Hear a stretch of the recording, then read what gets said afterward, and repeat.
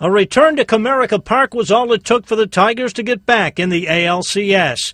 Miguel Cabrera drove in the go-ahead run in his home park Tuesday night and hit a towering homer to help Detroit top Texas 5 to 2. That's why he's a great hitter. And if you've been watching, you know, he came up big tonight. If you watch baseball right now, um, it's really interesting uh, for me. Maybe not as much for you guys, but for me. If you look at the opening day in Milwaukee, Fielder, Braun, big, big time came up. You know, if you look at the second game, Pujols, big time, he came up. Tonight, Cabrera, big time, he came up. That's that's what this is about. You know, the big boys. That's why they're the big boys. Cabrera snapped a one-all tie with an RBI double to right in the fifth inning. Then the major league hitting leader blasted one to deep left in the seventh inning. Victor Martinez and Jhonny Peralta also had solo homers for Detroit.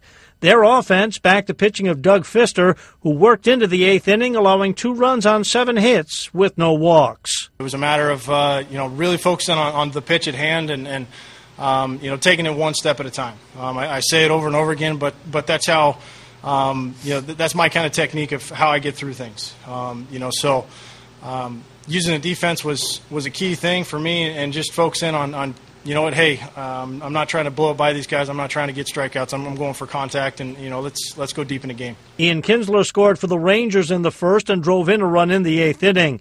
Detroit hung the loss on Colby Lewis, who suffered a defeat for the first time in six postseason starts. The Tigers now trail the Rangers two games to one in the best of seven series. Jim Militello, The Associated Press.